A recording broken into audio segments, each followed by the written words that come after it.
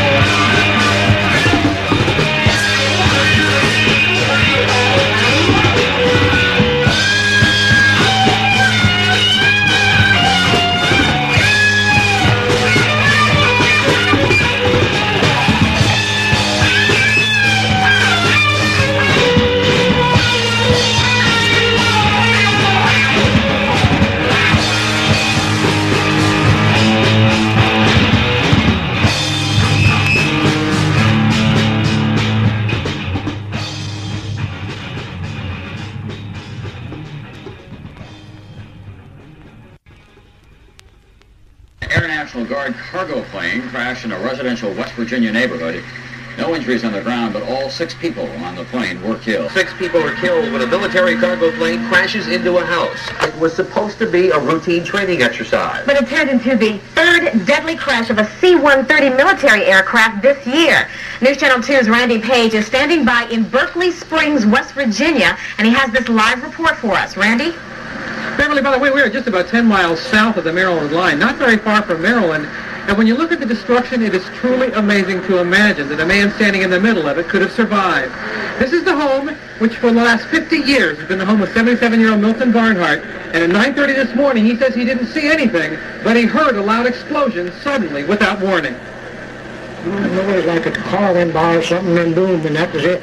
Everything was on fire, and I took off running. 77-year-old Milton Barnhart was standing here in what used to be his kitchen when the C-130E cargo plane slammed into his house, slicing off the top story of the two-story cabin, the cabin which has been his home for the past 50 years. The whole house busted in flames inside, you I'm I guess. But the retired railroad carpenter ran outside, jumped into a truck, and managed to get a few feet away, seconds before the whole area erupted in flames.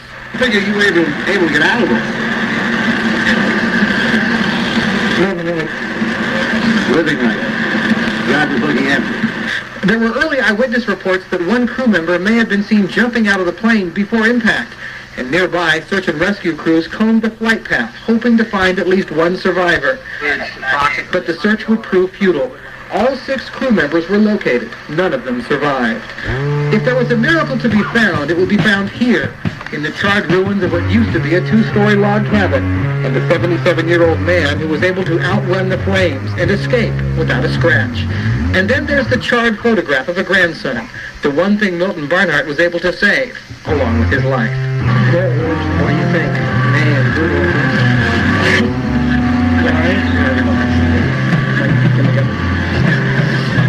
Donnie's back in. But, but there is a bright footnote to this story. One of the things that was really bothering Mr. Barnhart is he has a little hound dog puppy who was missing since the accident. Just about an hour ago, he found that little puppy curled up in the front of a police car. Puppy's name is Buddy, and Buddy is safe and sound. Beverly, the other piece of information we want to make sure to let you know is that the names of the crew members will not be released until their next of kin. Okay, Randy, a story as amazing as it is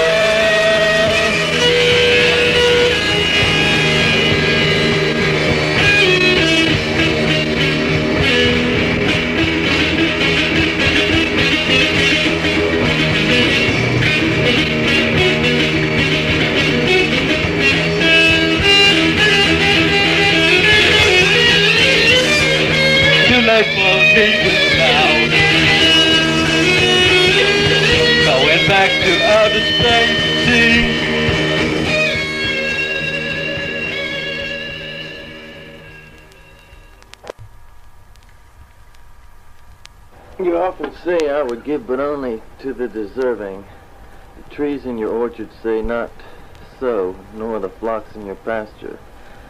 They give that they may live, for with to withhold is to perish. Surely he who is worthy to receive his days and his nights is worthy of all else from you. And he whom has deserved to drink from the ocean of life deserves to fill his cup from your little stream.